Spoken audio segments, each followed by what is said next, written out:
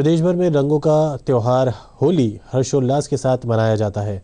राजधानी जयपुर में भी त्योहारों को लेकर दुकानों पर अनेक तरह के रंग और गुलाल की बिक्री जोरों पर है। इस बार हर्बल गुलाल की और लोग आकर्षित हो रहे हैं। दुकानदार मोहम्मद इरफान ने बताया कि हर्बल गुलाल, हल्दी, अनार का दाना, चुकंदर, फूलों सहित अनेक तरह के प्राकृतिक पदार्थों से बनाई जाती है। इससे किसी प्रकार की शारीरिक हानि नहीं होती है।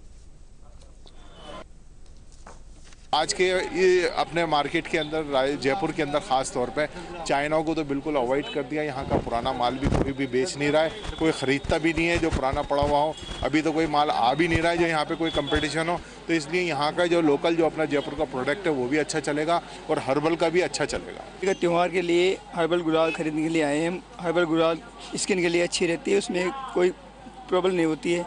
ये बहुत अच्छी जयपुर में मिलती है। जयपुर के अंदर बहुत अच्छी बिकती है हर्बल गुलाल।